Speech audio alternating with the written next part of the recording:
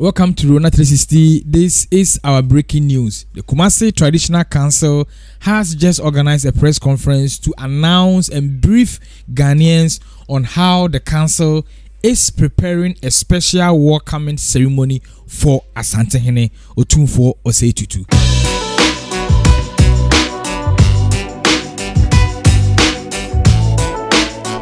So we all know that Otumfuo Osei Tutu Asante Mairua was invited to the coronation ceremony in Buckingham Palace to be part of the historic event in UK.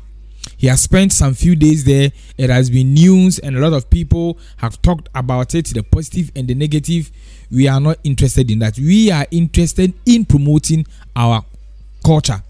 So, just this afternoon, barely an hour ago, the Kumasi Traditional Council has organized a press conference to brief Ghanaians on a special welcome ceremony that they have, you know, made in place to welcome Asantehene Otumfuo Osei from a strip. Now, Bafo Owusu Amankwetia, the fifth, who is the Bantamahene and the acting president of the Kumasi Traditional Council, announced that as part of the activities to welcome Otumfuo back, he will be paraded through some principal streets in Kumasi to create the opportunity for the people to honor and welcome and praise the king for raising the image of Ghana and Asanteman on the international map. Now, he advised that people should not rush to the airport because of the construction work that is going on at the airport and because of the little space at the Kumasi airport. In his words, he said, We are so proud of the king's achievement and we need to recognize him in a unique way from his trip back from London. Now, this is going to be somehow a little bit unique from the, the usual way that the traditional council organizes to welcome Asante each time he travels. So, what is of interest to Rona 360? We are interested in showcasing and promoting art education culture and TVET.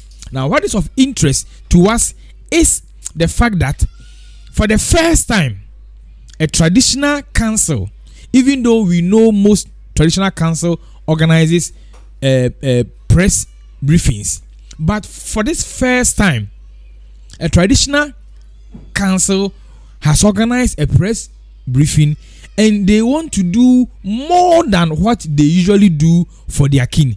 And for us, this is a great news. This is a good news for our arts and culture industry because we are gradually becoming conscious on how and why we need to uplift the image of our existence as Ghanaian and black people. For me, the highlight of the press briefing was when one of the sub chiefs who was sitting next to Banti Bantamahene gave credit and recognized the work bloggers and media can do in shaping and having a positive view to promote our culture. And in its words, we are so happy and we are so glad that when we called on you, bloggers and media men, you came because we know that you can help extend this message further for all Ghanaians to hear.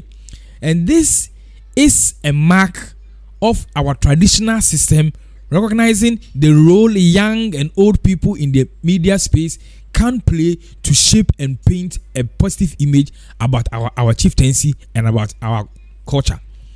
One of the highlights again of the meeting is how everybody who came was in the traditional cloth and they were not all in the same cloth. They all came in their unique, distinct, beautiful Ghanaian traditional cloth, well dressed and beautifully seated in an organized manner.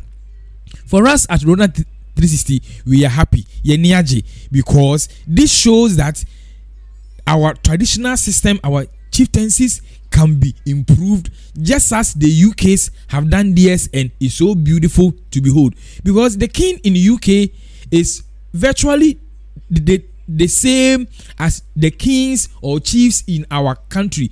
Their chiefdom or their kingship is the same as the chieftaincy practices that we do here. Just that they have taken DX to the next level with proper media hyping, with proper, you know, PR and then all that. And so we are very happy that the traditional council has done this by announcing to the entire country by announcing to Asanteman that this is what they want to do to honor their king who is reporting. It is our hope, enjoy that other kings or other chiefs in every part of Ghana, irrespective of how small or big they are, when they had the opportunity to travel outside the, the country or they go even outside their chiefdom to perform any duty that brings glory or honor to the people they rule over, this thing should be done so that together it promotes, together it encourages, together it sells the traditional system, it sells and promotes art and the art market. Because now, for those who will be asking, why am I so happy and so enthused about this? And I'm even doing a breaking news. Guess what? Because of this ceremony, everybody who does not have a white cloth is going to buy a white cloth to wear it because the announcement was that to welcome the king home, they want everybody to be in a white cloth or a white dress. Now, tailors or seamstress in Kumasi are going to be busy from this time round till tomorrow morning.